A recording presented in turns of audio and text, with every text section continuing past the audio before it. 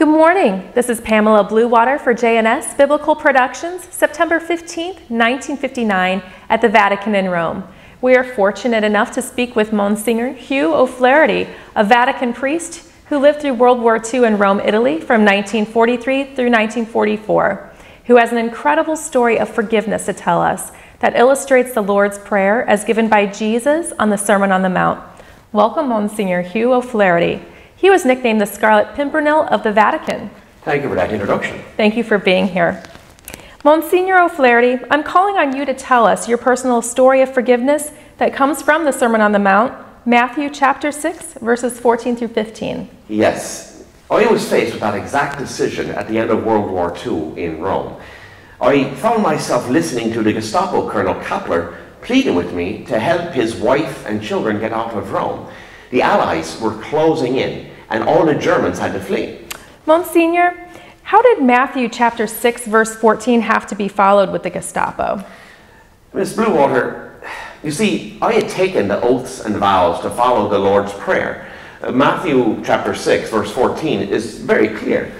Um, if you forgive the faults of others, your heavenly Father will forgive you yours. And verse 15, if you do not forgive others, neither will your Father forgive you.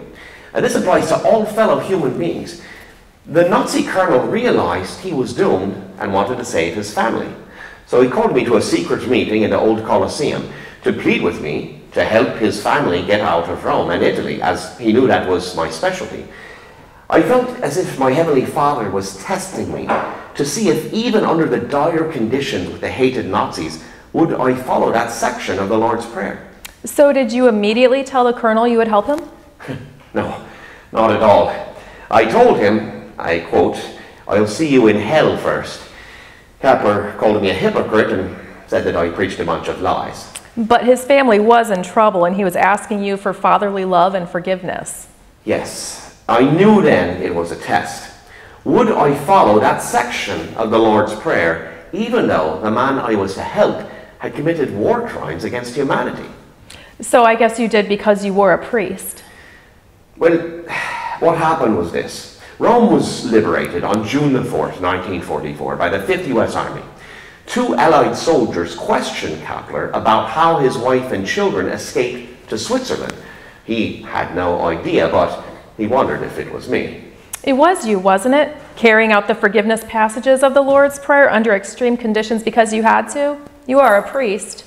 Yes, I confess I did. I was Kappler's only visitor in the Italian prison where he was sentenced to life for war crimes. I visited him every month for 15 years, and finally, this year, Colonel Kappler was baptized into the Catholic faith at my hands, a Roman Irish priest. My name is Bertha Sedgway, and I'm the receptionist here.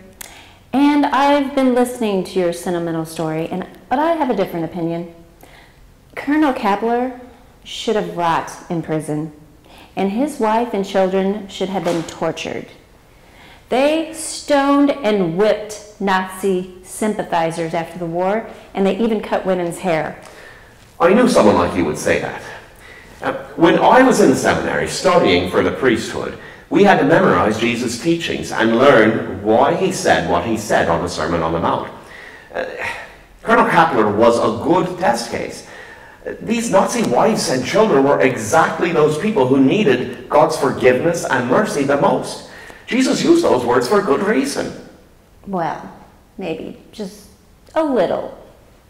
Whip the children and the wives. No, that's not what the Lord's Prayer says at all, Miss Sledgewood. Father O'Flaherty, I wish we at JNS could give you a medal like the Medal of Freedom you already received. And Miss Sedgway, Jesus never said, whip your enemy till he screams for mercy. He would never say anything like that. This is Pamela Bluewater for JNS saying to our viewers, you can't go wrong by following the lesson of forgiveness in the Lord's Prayer, Matthew chapter 6, verse 14 through 15. Good morning. What are your thoughts on today's story? We'd like to know. So, leave a comment and subscribe to our channel, JNS Authentic Biblical Productions. Whether it's the Word of God through parables, true stories illustrating parables, or true stories in the life of Jesus Christ with commentary. You can see them all by subscribing to the most comprehensive collection of videos of biblical stories for you and your family. Have a blessed day.